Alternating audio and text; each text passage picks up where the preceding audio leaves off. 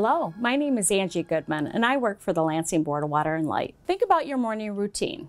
You probably showered, washed your hands, or brushed your teeth, right? Have you ever thought about where that water comes from? Well, you're in luck. Using this Enviroscape, which is available through EGLE's lending station, we're going to learn about where drinking water comes from, how it's treated, and how it gets to your home. Let's get started. There are two natural sources of water that water treatment plants can draw from. Surface water, such as lakes, rivers, and streams, or groundwater.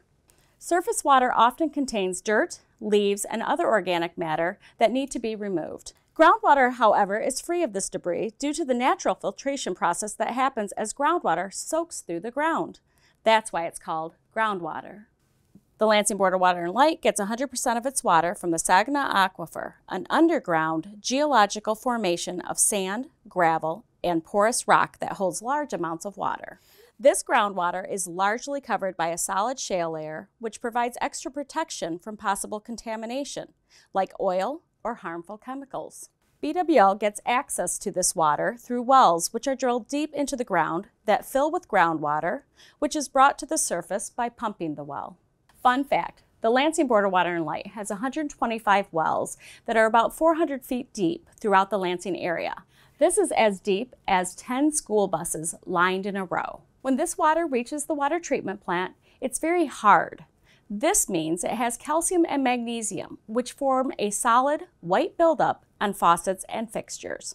To reduce the hardness, we add lime and soda ash, a process known as softening. These additives cause the calcium and magnesium to solidify and clump together, forming large particles called floc. The large floc are heavy and sink into the bottom of a settling basin, a process known as sedimentation. The softening process makes the water tastier and better for washing dishes, laundry, and for the shampoo to lather in your hair. The next step in the treatment process is called filtration. This is when the newly clear water flows from the settling basin through layers of filtering materials such as sand, carbon, or gravel. We are using this cotton ball to represent these filtering materials. These materials can be used individually or together to clean the water by trapping and removing even the smallest particles as the water passes through it. While filtration removes most germs and unwanted contents from the water, Water treatment plants take additional steps to ensure that your drinking water is as healthy as possible. Some treatment plants use chlorine, ozone, or ultraviolet light to kill off any remaining germs. The Lansing Board Water and Light uses a mixture of chlorine and ammonia called chloramine. During the same stage, BWL adds phosphate to form a protective layer in pipes and plumbing, preventing harmful metals from entering the drinking water. Finally, we add just enough fluoride to help prevent tooth decay and keep your teeth strong. This blue dye represents all the solutions added to your water.